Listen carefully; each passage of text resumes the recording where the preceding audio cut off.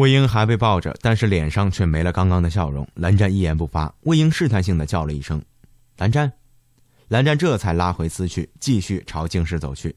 魏婴不再询问，因为太了解他了。到了静室，蓝湛依旧没有准备开口的意思。魏婴也不问，一副该干嘛干嘛的样子。过了一会儿，蓝湛开始注意到魏婴突然这么安静，自己还有些不适应，主动唤了一声：“魏婴。”本以为魏婴会因为自己刚刚的沉默而闹小脾气，结果魏婴却笑嘻嘻地回应他，好像刚刚的一切都没有发生。魏婴不是不好奇，而且看着蓝湛种种状态，很清楚可能遇到了什么难题。但是相比于想知道，魏婴更不想为难他。该说的，蓝湛一定不会瞒着他。魏婴越是这样，蓝湛就越是为自己刚刚的不吭声而自责。关于思追的事，的确不应该瞒着他，毕竟那是他最爱的孩子。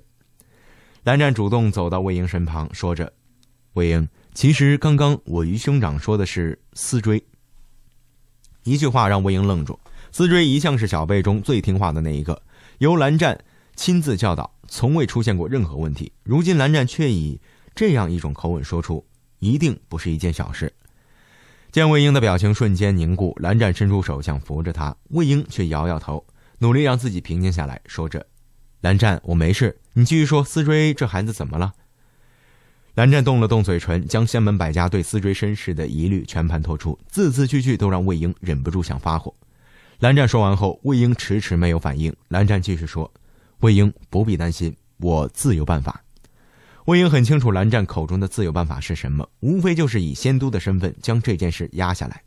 但是仙门百家的跟风能力，魏婴依然是见识过的，所以他很清楚放任这种情况不理睬会是怎样的结果。思追本就不是蓝家人，虽然大家对温氏已经没有那么仇恨了。但是就这样贸然的公布思追的身世，势必会对蓝湛有影响。毕竟仙都听起来很风光，却也承载了太多的重担。遇到任何问题，魏婴和蓝湛考虑的永远都是对方，这一点他们心知肚明。在一起相依相伴这么久，其实没有谁是甘于平凡的，只不过是彼此值得，所以才把心甘情愿让日子变得简单。蓝湛，你承受的太多了，这件事我们还是从长计议吧。我不想，不想总是让你付出那么多。魏婴想了一会儿，还是把这句话说出口了。蓝湛恨不得把这世上的所有好都给魏婴，自己尽可能的去承受苦难，所以脱口而出即是：“魏婴，我心甘情愿。”魏婴对着蓝湛笑弯了眼，他们都在袒露心声，这余生都是心甘情愿。静室门口却响起了脚步声以及抠门的声音。思追来到静室，却不知魏婴和蓝湛正在为他的事而发愁。安光君、魏前辈，泽无君叫你们去前厅议事。看着思追，魏婴愁容不在，笑着说：“小思追，最近的修为有没有提升啊？”魏婴一边说着，一边朝思追走去，一手搭在他的肩膀上。思追歪过头看了一眼蓝湛，发现没有异样，反而是默许的眼神，这才安心让魏婴搂着肩膀。就这样，魏婴与思追走在前面。蓝湛走在后面。多年前，蓝湛从未想过有生之年可以看到这样的画面。也正是在那一刻，蓝湛握紧了拳头，说什么都不能让仙门百家惹了他这份清静。想想十六年前，仙门百家害了他的魏婴，如今又想凭借着一张张嘴去影响他们的思追，这万万不可能。前厅，蓝曦臣看到三人前来，嘴角的笑意又浓了几分。蓝湛当然知道兄长这次叫他们前来是为了什么，所以便找个理由遣走了思追。魏婴看到桌子上的糕点，顺手拿起来一块塞到嘴里，嘀咕着：“蓝湛，这个东西这么好吃，怎么没见你拿给我尝尝？是不是都被你偷吃了？”蓝曦臣笑着回答：“魏公子喜欢吃，一会儿吩咐厨房做就可以了。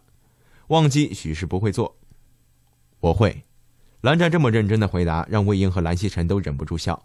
蓝曦臣接过话：“好了，聊一聊正事儿吧。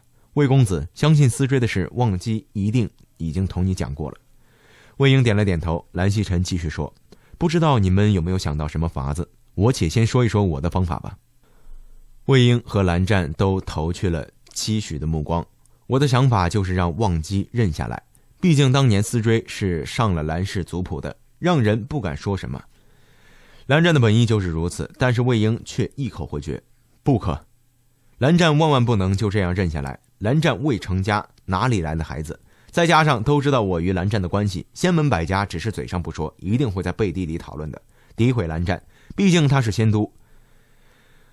魏婴依旧坚定的想法，无论如何都不能毁了蓝湛的名声。魏婴继续说：“这件事还应该由我来解决。十六年前我就不怕他们的指指点点，如今更不会怕。”不可。蓝湛与魏婴产生分歧，当然是一口回绝。话音刚落，门外弟子来报：泽无君、韩光君、魏前辈。姚宗主一行人前来拜访，说：“曹操，曹操到。”魏婴翻了个白眼儿。蓝曦臣自然无法拒绝，不过三个人心中都清楚，他们前来一定不是叙旧的，而是煽风点火。果不其然，姚宗主刚到前厅，第一句话说的不是仙都，而是魏公子也在。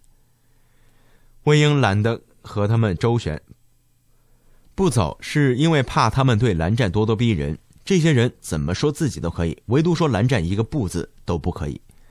魏婴刚想开口，蓝湛拉住他的手，示意他不要讲话。云深不知处的前厅里，一时间聚集了很多不速之客。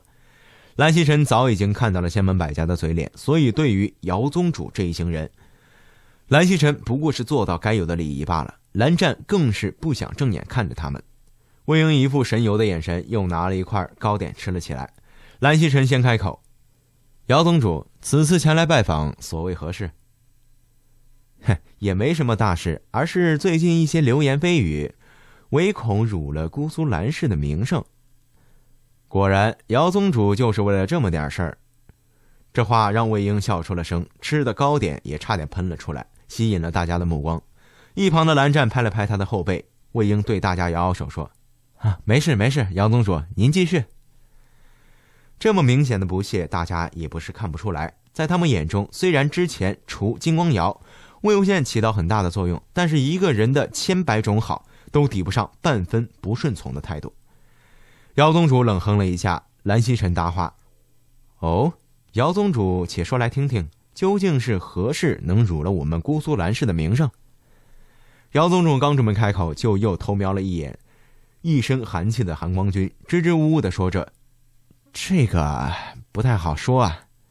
一向话少的蓝湛直接开口：“有何不好说？”虽然这句话没有半分不尊敬的意思，却让众人不敢说话。最终还是一个不知名的小子脱口而出：“蓝思追的身世有问题。”话音刚落，看小直接送过去冷厉的眼神，让那人忍不住后退一步。姚宗主这才答话：“仙都，你看这晚辈不懂事，如此的唐突。”但是我们也是为了姑苏蓝氏的名声着想。姚宗主继续说着：“有传闻说蓝思追是仙都的孩子，这简直就是无稽之谈。仙都未曾娶妻，哪来的孩子？可不能让这种莫须有的言论玷污了仙都的名声啊！如果说之前的几句话某在有所保留，那现在的字字句句可就都是在触碰蓝湛的底线了。而且这样一句话，直接堵住了蓝曦臣和蓝湛的嘴。”魏婴自然看懂了这一切，仙门百家为难自己可以，为难蓝湛绝对不行。魏婴上前一步，蓝湛连忙拉住，对着他摇摇头，可是却改变不了魏婴要把一切都揽在自己身上的决心。对着蓝湛笑了笑，便开口：“胡说，思追怎么可能是韩光君的孩子呢？”蓝湛和蓝曦臣齐刷刷地说着：“魏婴，魏公子。”这对兄弟谁都不想把魏婴推出去，可是魏婴满心满眼想着都是蓝湛，自己被怎样质疑都无所谓。魏婴还是将那句话说出了口：“思追是我的孩子。”众人万万没想到魏无羡会给出这样一个答案。原本想着用这件事让蓝忘机两难，甚至可以用这个理由将他从仙都的位置上拉下来，为了那点一己私利。可是魏无羡这样说，他们原本的计划就泡汤了。相反，还动了仙都最在乎的人。一直以来，仙门百家都知道姑苏蓝氏最重视的小辈是蓝思追，而且深得韩光君的喜欢。与其他小辈们明显不同，而且同按照趋势来看，多年后下一代仙都很有可能就是蓝思追。眼红的人不在少数，再加上蓝思追的身世本就不清楚。上次在百峰山围猎，因为众多小辈中只有蓝思追一人被邪气所伤，都看到了他身上的黑气，这才被他们抓住了把柄。仙门百家想一举否定了蓝思追的身世。顺便还能动摇韩光君如今的仙都地位。毕竟，只要与邪气相关的人都不应该是名门正派。不得不说，仙门百家真的是打的一手好算盘，所以这才有胆量去找到云深不知处。结果这一切都因为魏婴一句“思追是我的孩子”而打破了。一时间，姚宗主一行人骑虎难下，不能就这样不了了之。可是却又不敢继续提出什么过分的要求，毕竟韩光君还是那个高高在上的仙都，而魏无羡又是他心尖上的人。不管是十六年前的不夜天乱战，还是之前在金陵台和乱葬岗中，仙门百家都看到了魏无羡对韩光君的重要性。姚宗主只好试探性的问：“未曾听说夷陵老祖娶妻生子啊？”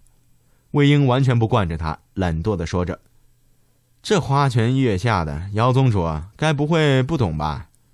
魏婴说这句话的时候，一边笑着，一边瞟了一眼蓝湛，刚好对上蓝湛略有警告的眼神。既然如此，蓝思追为何要留在姑苏蓝氏？应该跟夷陵老祖回乱葬岗才对。还真有不怕死的，竟然连这种话说得出口。果不其然，说话的人直接收到了韩光君凌厉的目光，好像整个人都被他看穿了一样。姚宗主一行人连忙接话：“此话并无道理。夷陵老祖的孩子不姓魏，偏偏姓蓝，还成为了姑苏蓝氏得宠的第一，这怎么也说不过去吧？你说是吧，仙都？”这哪里是询问，分别就是让蓝湛必须给出一个答案。可是蓝湛断然舍不得让思追改了姓氏，也不可能将他从蓝氏的族谱中剔除，却也一时间想不到什么万全之策。看到蓝湛如此两难，魏婴再次开口：“姚宗主啊，这话说的就不对了。当年我因为在不夜天坠崖，思追是我在这世上唯一留下的孩子。韩光君大义，将思追带回蓝家收养。”十几年的养育之恩，姓蓝也没什么不妥吧？我这个当爹的都已经同意了。魏婴继续说：“不过思追这么优秀，很有可能成为下一代家主。你们也是为了姑苏蓝氏百年基业考虑，我说的对吧，姚宗主？”魏婴话里话外都是嘲讽，可是姚宗主哪敢什么话都说，有些惶恐的点着头：“对对对。”魏婴翻了个白眼，继续说：“那既然如此，思追的姓氏不用改了，人我且带回夷陵。”话音刚落，蓝湛瞬间慌了，蓦然抬头，盯着魏婴的脸庞。精彩内容，下集再见。